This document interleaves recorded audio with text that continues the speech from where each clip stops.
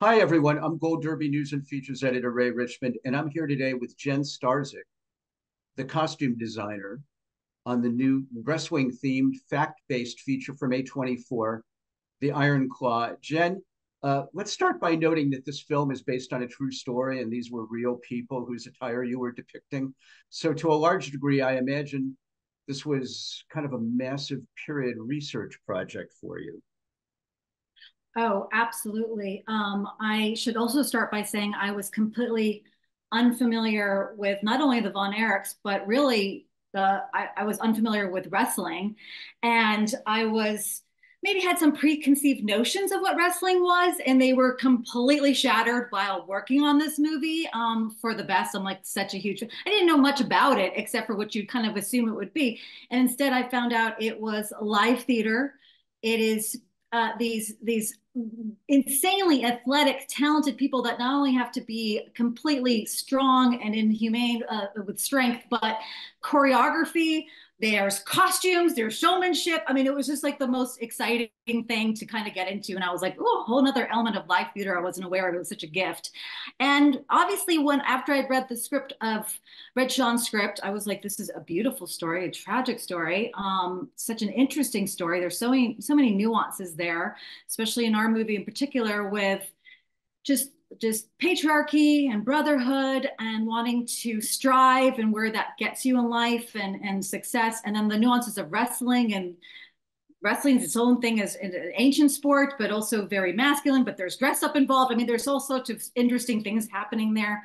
So my first dive was just to look at the Von Erichs and what they looked at. And once I saw they were just this era of early 1980s mainly of um, rural but still you know americana texas. I was immediately hooked fell in love and was like i need to design this movie. So that's that's how it came out how cool though. I mean you're right live theater is right. I mean until the 60s or maybe even 70s jen i think there was still debate on whether professional wrestling was was real or not. um, I think we have long since come to the conclusion that no, no, it is theater. But I was a big professional wrestling fan in my youth, and I remember thinking, "Well, these guys don't wear much." And um, this would have been in the late '60s, early '70s, and they didn't wear much more in the '80s. But uh, for you, um, it's still got to be about way more than you know short shorts and tank tops and knee pads.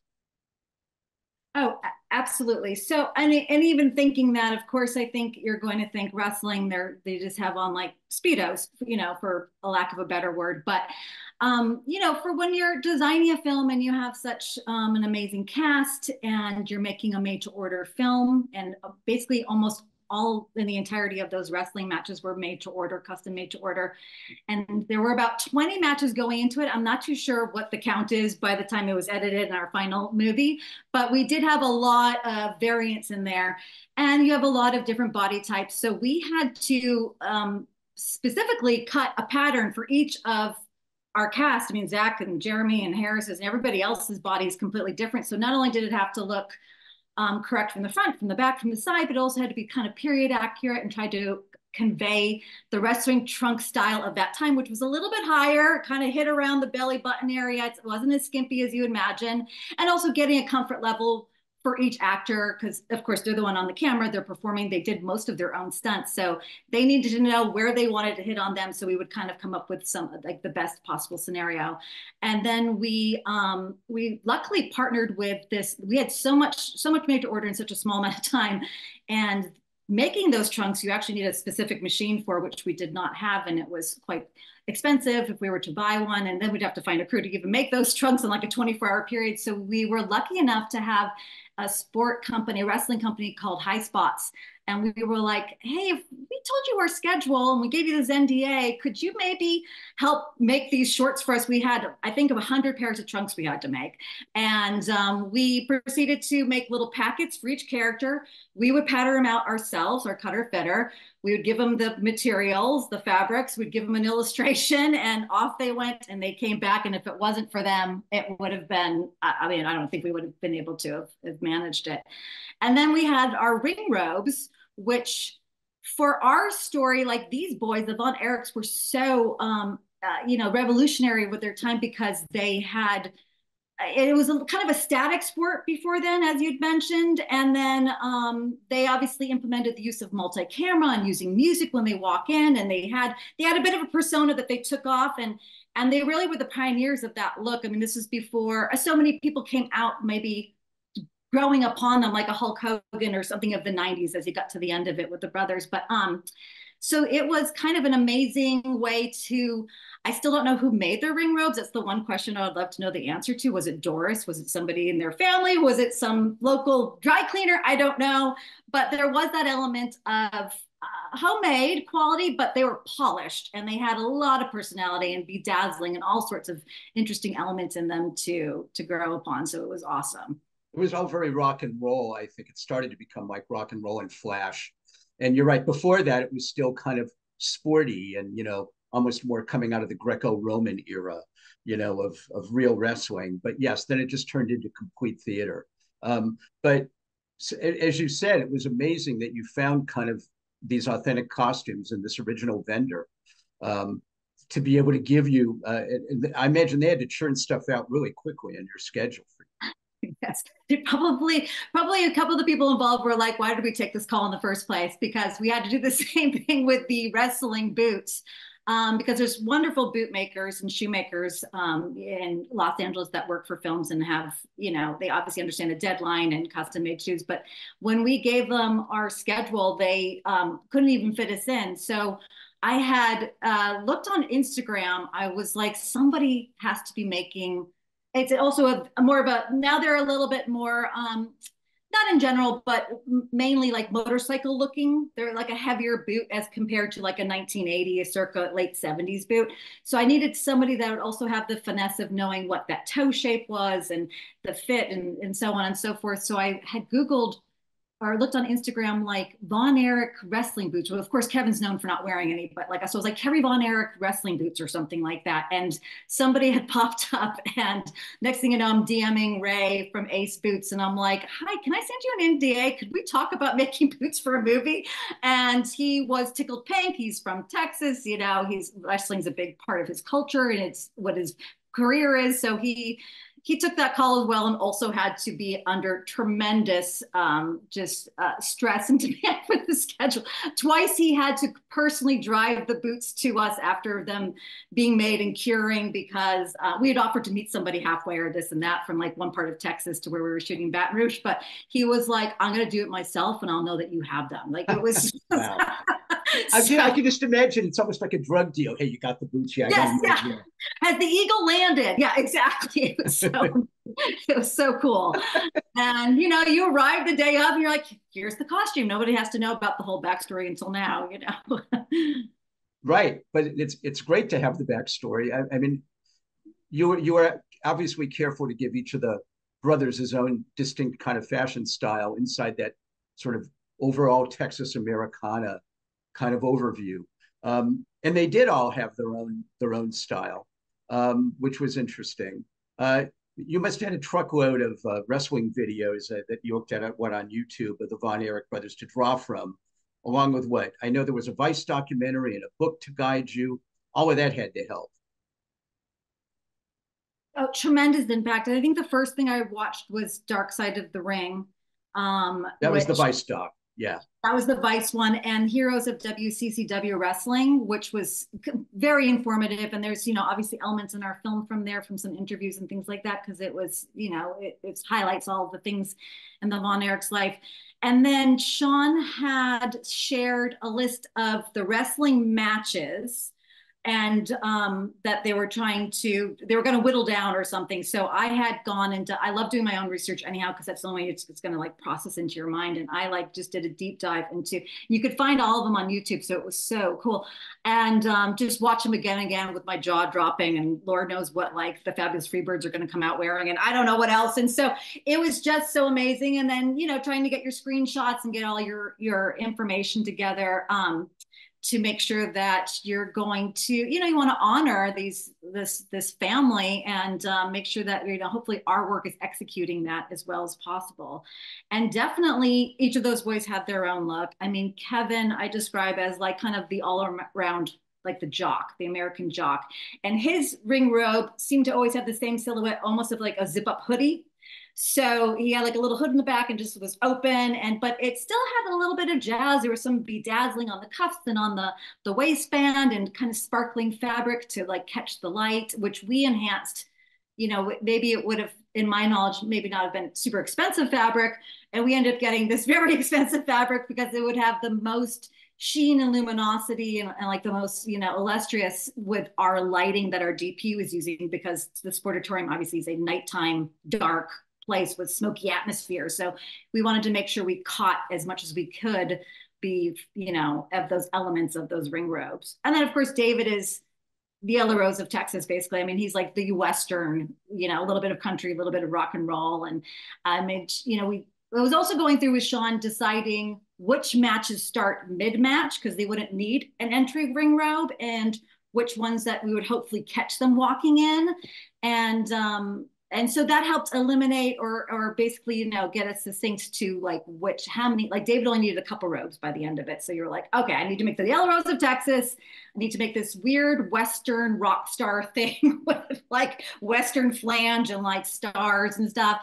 And um and then he had one other which is very simple. We wanted to make sure they also had like an arc between when they started and when they ended and it got more rock star and more elaborate as it went on and brighter. Um and Kerry's Kerry's vibe is definitely like he's the 1980s rock star. I would say the most. He wore sometimes some headbands, and he had like he just mostly had more of like a little shorty robe, like a robe that you'd wear out of the shower. That's how I would describe his silhouette. And so those were the biggest things because when we got to Mike, he kind of got dragged into wrestling later. And his whole character was mostly never fitting in. It was always these pictures of the brothers like you know, in trunks and working out and buff. And then Mike would be like in a polo and corduroy shorts, like not fitting in at all. So we kind of wanted to make sure that we told the story of Mike wanting something different. And we, we took it like he wanted to be a musician and sort of uh, had a little backstory there with that idea. You used, had to, I think you used a lot of other materials too, didn't you, Jen, for ideas and inspiration for dressing everyone um, outside the ring to depict the era too, like what magazines and catalogs and movies and TV shows, just all kinds of stuff. You you you didn't eliminate anything for ideas. Oh no, not at all. One of my favorite things is is to collect the ideas, and I always um, I always start with sort of looking at some pop culture references and what movies were popular around that time, and maybe a little bit of backdating. So I think the first thing I watched was Smokey and the Bandit, which is an amazing film in its own. Um, and I was pleased to when I got to the set, unbeknownst to me, the set decorator had a Smokey and the Bandit poster in the in the room, and I was like, "Oh, we're on the same page. There's nothing better than that."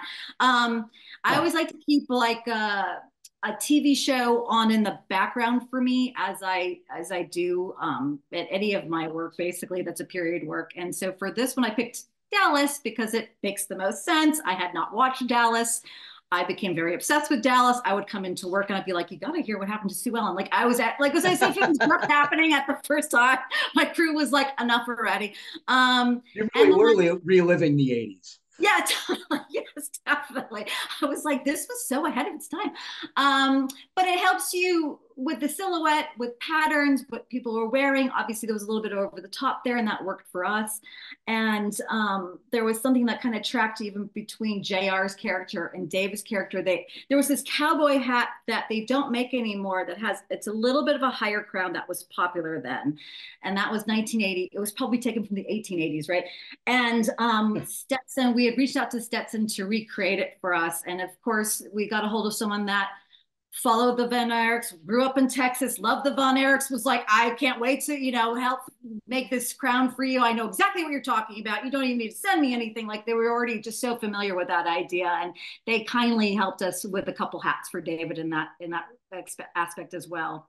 And then we always, like, I always think when you do a movie or a character, you're thinking, where do these people live? And what kind of income do they have? And what would be accessible for them to shop? So I did rather think this is rural Texas. They weren't really Dallas and Denton are two different worlds, we could say. And they grew up on a ranch. They were they would had tons of ranch chores and went to church and did all sorts of other things aside from wrestling. And we're and we're brothers and we're family. And so to me, it was just very basic clothing that could have been at Sears or Montgomery Wards or whatever was around at that time. And um, and sometimes that clothing is a bit uh it's not muted and subdued and elegant maybe even a bit dialed up or like you know a brighter color of that sense or you know brighter brighter denim something of that world so that's sort of what i thought about for their everyday clothes a little over a little over the top a little over the top exactly i mean like let's take for instance david wore what I called the midnight cowboy jacket. Like I was like, what is this? He's wearing this amazing fringe suede jacket over a football jersey with his cowboy hat and snakeskin boots. I mean, it's just like I want to dress like him. Like I thought he just looked so amazing. So Joe Buck. yeah, totally. Yes. And um and Kerry kind of making sure we did turn up like we could use a lot of color on him and and more of that 1980s palette of like coral and teal, little Miami Vice colors, as you would call it. And um, I think some of the grounding books, like something of like beautiful inspiration, was um, Richard Avedon's America West, where he just has these people. There's these gorgeous photos of like late '70s, just real life people, and um, and um, some other photography books of that sort, like I was saying before, Geoff Winningham's, and uh, just some some beautiful books that kind of just convey that sense of feeling to me, like a little country, a little rock and roll. If it said like Linda Ronstadt meets Crystal Gayle meets Rush, I was in. Perfect. Um, you also got to dress everyone at a wedding uh, scene. That had to be a, a, huge amount of fun. Also, taking the whole 1980s dynamic into sort of uh, sort of upscale or a little upscale. Oh, uh, absolutely, 100%. The um, the wedding was a total blast. And in real life looking at pictures i think the picture i could at least find on on the internet of kevin and pam's wedding it was actually very simple and quiet. And um, she sort of had just like an off the shoulder and a, dress and a see-through hat that was kind of popular at the time. It was like in 16 candles for their wedding scene. Um, but our wedding took place in the winter and there was a picture of Kerry Von Erich's one of his weddings. And it was this total very 80s matching tuxedo you know almost like a morning tuxedo look and uh, like the big poofy 80s and i just was like if not now when? And, and we were able to find this gentleman in the midwest who actually owns a lot of vintage tuxedos still. He does it for films. And so we got a, a nice gray scale there. And then obviously for lily james it's i mean she was cinderella for goodness sake. So like not that silhouette of a tiny and like a big poofy skirt just looks so amazing on her. I mean, everything looks amazing on her. So I had some different silhouettes to try on her that were indicative of the time. But once we got to that silhouette, I was like, I'll be right back with the biggest crinoline I can find. And when I went to get the crinoline, there was like white cowboy boots in like the bridal store. And I was like, and the white cowboy boots will come too. Like it was, it was perfect. Yeah. But you did I also read Jen that you you had you designed the looks for more than 200 background actors too? What a what a job! My God. Yeah, we had that was um that was an interesting, I guess, um challenge because they had uh it's kind of coming out of COVID and people were doing groups of background at the time. So you had your core group, they would call it, and they would hopefully everybody was trustworthy and testing and doing their thing to try to keep the movie moving forward, basically. Um, and so those same 150 or 200 people or so were just redressed in like every scene basically. And for our wrestling matches, you had, like I said, you had like 20 mass matches. So you would shuffle people around and redress them and just keep that ball rolling try to be as efficient as possible. Also tell a timeline because we started in 19, I think the first match was 79 or 80 and ends later on. So you wanted to see if you could introduce things as you went on and, and the boys got more popular. We had made um, Von Erich like merchandise.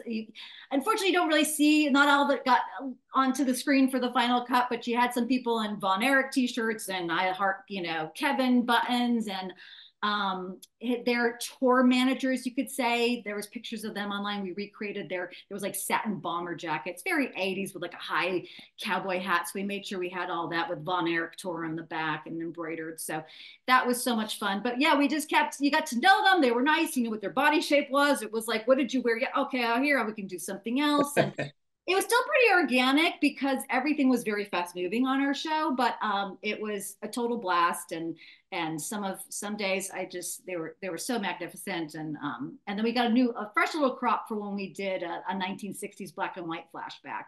Um, mm-hmm. so that was sort of fun as well. So there was lots of background as, in that scene as well.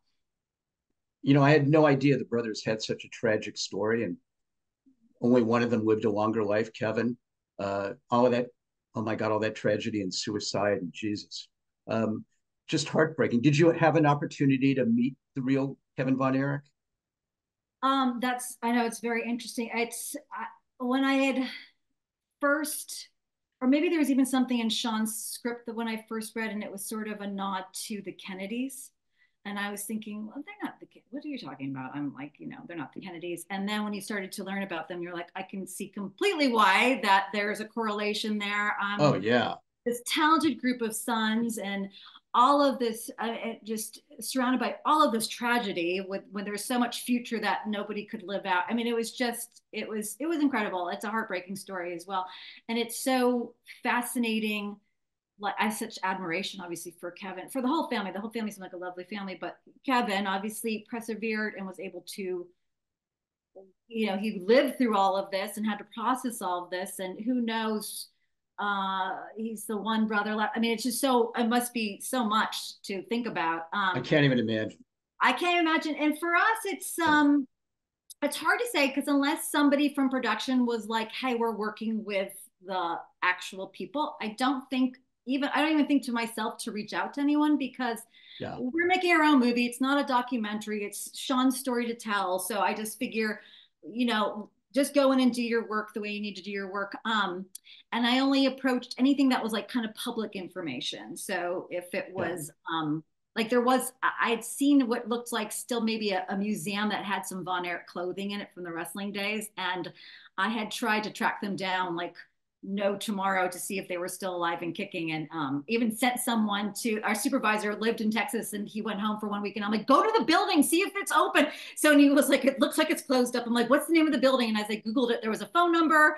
I ended up calling the security guy. The security guy was like i think i know someone that might still work there. And then that per- three phone calls in i finally got a hold of somebody who used to work there because lo and behold it had closed down but she was so nice. I mean strangers just taking my phone call. I don't even hardly I think everyone's solicitors. I hardly even like answer, and they're like being so helpful and nice and Southern hospitality, and you know trying to help me. But it, it I, anyhow, I didn't see anything in person. I wasn't able to. Uh, I didn't reach out to Kevin, and it wasn't into the premiere where my whole yeah. goal on the Dallas premiere, I was like, I'm going to meet Kevin. This is going to be my big thing for tonight. So I was happy to meet him. It was a little loud. I had so many questions to ask him, but I was just happy to say, hi, I admire you're an incredible person. I felt very honored to work on your story. And that was about that. Yeah. Well, we're going to have to end things there. Uh, the Iron Claw will be released in theaters on December 22nd. Jen Starzyk, best of luck to you this award season. And thanks for joining us today at Gold Derby. Uh, my pleasure, Ray. Thank you so much.